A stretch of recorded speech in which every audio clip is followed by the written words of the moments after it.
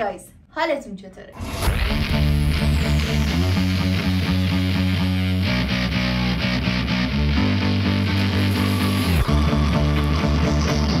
بعد مدت ها ستودتون اومده با یه ویدیوی جدید که ولاگ نیستش. یه موزه متفاوت تر داره. یه ذره بهم افتخار کنید. تفاوت توی ویدیو موز می‌زنه. بچه ها این ویدیویی که امروز می‌خوام براتون آپلود بکنم و خیلی وقت بود قولش رو بهتون داده بودم. یعنی فکر کنم تقریبا یک سال پیش یه box براتون گذاشتم. گفتم که آره بیاید نظراتتون رو بنویسید به نظرتون چه رشته ای برم راهنمایی کنید یکم. دیگه بعد از اون box حوصله نداشتم بیام ویدیو واسه یوتیوب ضبط کنم. بعد اون موقع خیلی سردرگم بودم. هنوز رشته که می‌خواستم و انتخاب نکرده بودم. همین چند وقته پیش تصمیم گرفتم چه رشته ای می‌خوام برم. و گفتم الان که مطمئن تر شدم بذار یه box بذارم دوباره ازتون بپرسم به نظرتون چه رشته ای می‌خوام انتخاب کنم و چرا. الان اول می‌خوام چند تا از نظراتتون رو که توی box های این اینستاگرام برام نوشته بودید بخونم. بعدش رشته که می‌خوام برم و بگم و این ویدیو به کسایی که خیلی گمراهن توی انتخاب رشته و نمی‌دونن که چه رشته ای برن و هنوز علاقهشون رو پیدا نکردن خیلی کمک می‌کنه. شاید باورتون نشه ولی من خودم از کلاس هفتم درگیر این بودم که چه رشته ای می‌خوام برم. امسال نگم براتون سال نهم که شروع شد. من همش تا ساعت سه صبح مغز اوما خانم رو به کار می‌گرفتم. باش صحبت می‌کردم می‌گفتم ماما به نظر چه رشته ای برم؟ چیکار کنم؟ ماما من هنوز نمی‌دونم چه رشته ای می‌خوام برم. ریاضی برم ریاضی نه سخته. علوم برم علوم علاقه ندارم. یعنی ببینید اعصاب اوما خانم انقدر خورد کردم که دیگه بعد از اون مدت هر وقت بحث انتخاب رشته می‌شد چپ چپ همینجوری نگاه می‌کرد بهم. حالا برم گوشیمو بیارم چند تا از نظراتتون رو بخونم. بعد. خب یه نفرتون زده حس می‌کنم تجربیشون بهت میاد دکتر بودن. دلیل بالی بود ولی خب اصلا قانع کننده نبود چون که وقتی شما می‌خوای یه رشته رو انتخاب بکنی نباید معیارات این چیزا باشه. نباید معیارات این باشه که اگه من برم این رشته بقیه مسخرم می‌کنن. این رشته کلاس داره نداره به هم میاد نمیاد و از اینجور چیزا. شما فقط و فقط باید ببینید که به اون رشته علاقه داری یا نه. چون حتی اگه رشته که انتخاب می‌کنی بدترین و مسخره ترین چیزم باشه از نظر بقیه مهم توی مهم اینه که تو بهش علاقه داری و وقتی که تو بهش علاقه داشته باشی صد درصد می‌تونی تو شکوفا بشی. چه سوسماسی دارم حرف می‌زنم؟ انسانی چون مامانت معلمه. بذار از ماما خانم ماما خانم شما معلمی؟ مامان من کجاش معلمه؟ بعد اصلا مامانم معلم باشه. که نیست. من باید برم انسانی چون مامانم معلمه.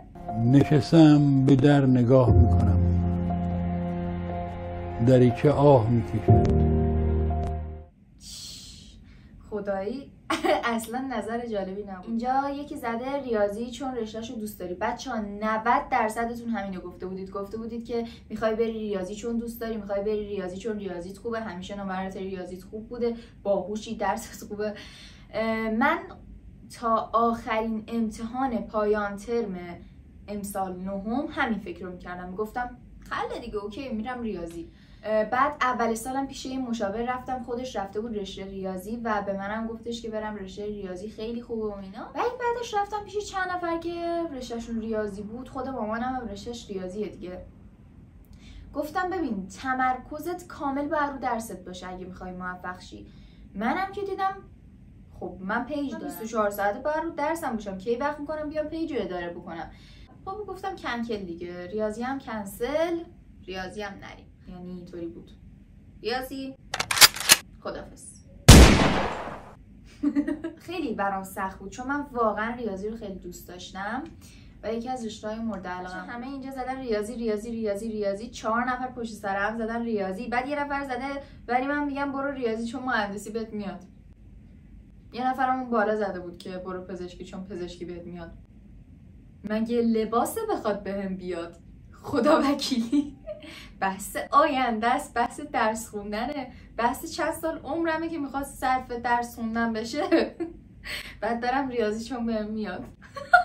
خیلی باله این نظراتتون دلیلاتون. همتون هم خندیدی دا یعنی به شوخی این حرفا رو زدید یه نفر زده تجربی چون خیلی علاقه داری. تجربی تجربی. تجربی هم زیاد گفته بودید ولی من واقعیت هستم به تجربی علاقه ندارم. یعنی مثلا با خیلی دوست داشت من دکتر بشم و اینا. ولی خب هیچ وقت مخالفت نکرد با هم توی انتخاب رشتم. فقط میگم من خیلی دوست دارم دخترم دکتر باشه. بچه ما توی خانوادهمون دوتا پزشک داریم. دایی کوچیکم و خالم. و من از اینا خیلی راجع به پزشکی و اینا سوال کردم. همشون گفتن که وارد تجربی شدن علاقه بسیار بسیار زیادی می‌خواد. علاقه اعصاب واقعا میگه همه اینا رو باید داشته باشی تا بتونی تو تجربی دووم بیاری. به هم گفتن که ما تو رشته که هستیم نسبت به اون زحمتی که می‌کشیم کاری که می‌کنیم خطری که می‌کنیم تو این کرونا حقوق خیلی کمی می‌گیریم رسیدگی خیلی کمی میشه بهمون. شیفتایی که وای میسیم خیلی زیاده اذیت میشیم شب کاریامون باعث میشه نتونیم درست استراحت بکنیم و اینا. ریاضی و علوم خط خوردن و انسانی و هنرستان. الان اتفاقا چند نفرتون گفتید انسانی انسانی انسانی وکالت. وکالت رو گفته بودید خیلیاتون خیلیاتون گفته بودید حسابداری. من بابت این انسانی بابتون بگم که من حفظیاتم عالیه. خیلی عالیه. یعنی مثلا الان یه صفحه یه صفحه کلا یه صفحه متن بهم بدن حفظ می‌کنم. براتون این بلبل چهچم می‌زنم. خط به خطشو درست بهتون میگم. کافیه. مثلا بهت بگم یک ساعت بعدش بیای از من همونا رو بپرسی. یادم رفته. باورتون میشه؟ یادم میره. مثلا اینطوریه که خیلی خوب حفظ می‌کنم و اون لحظه خوب حفظ می‌کنم و بهت جواب میدم. بعد به یه روز نمی‌کشه یادم میره. بعد دیگه انسانی هم از توی گزینه خط خورد. اینطوری. انسانی. بچه ها یکیتون زده بود طراحی دوخت چون عاشق لباسی. دوست عزیز تبریک میگم. زدی تو بله بچه ها بالاخره من بعد از کلی کلنجا رفتن رشتهمو گفتم بهتون. می‌خوام برم رشته طراحی دوخت. طراحی. خدایا. طراح لباس کی بودم من؟ خب حالا واسه طراحی لباس شد. می‌خوام یه خاطره بهتون تعریف بکنم. دیدید از بچه ها می‌پرسی می‌خوای چی کاره بشی؟ میگه می‌خوام خلبان بشم می‌خوام مهندس بشم می‌خوام دکتر بشم. از بچگی از من میپرسیدم می‌خوای چی کاره بشی؟ من هیچ کدوم از اینا رو نمی‌گفتم. می‌گفتم طراح لباس. یک بار یادم رفتم از هما خانم پرسیدم گفتم که مامان هم یه بچه هم بودم. مامان من خیلی لباس دوست دارم. اگه بخوام بزرگشم لباس درست کنم باید چه لشته ای بلم به صدا بچگونه کردم که قشنگ صحنه سازی بشه. هما خانمم گفتش که باید بری طراحی لباس این تو ذهن من موند تا کلاس ششم. کلاس ششم که تموم شد وارد راهنمایی شدم سردرگمیام توی زمینه انتخاب رشته شروع شد. یعنی از کلاس هفتم استرس انتخاب رشته رو داشتم.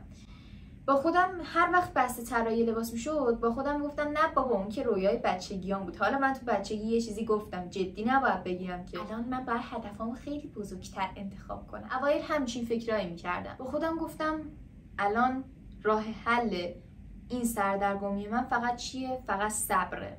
باید صبر کنم همه چی به موقع خودش اتفاق بیفته. چون همیشه صبر تو زندگی من جواب داده.